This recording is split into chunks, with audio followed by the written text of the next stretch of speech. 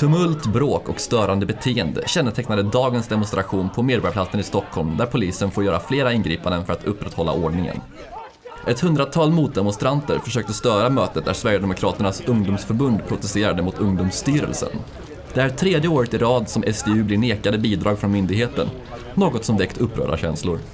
Vi är här för att Ungdomsstyrelsen har avslagit vår bidragsansökan för tredje året i rad som enda politiska ungdomsförbund.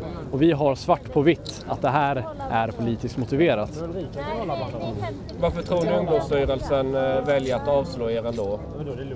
Därför att Ungdomsstyrelsen driver på en linje för att motarbeta Sverigedemokraterna. Alltså dels de enskilda tjänstemännen, dels myndigheten i sig motarbetar aktivt Sverigedemokraterna och SDU. Vid flera tillfällen fick polisen gripa in när motdemonstranterna på olika sätt försökte störa det tillståndsgivna mötet. En av motdemonstranterna fastnade med foten i en svängdörr samtidigt som polisen gjorde ett ingripande. Vid flera tillfällen fick polisen fysiskt mota bort upprörda motdemonstranter. Enstaka individer blev omhändertagna på plats.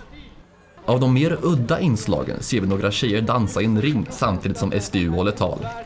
Men även ett annat känt ansikte dök upp med en megafon.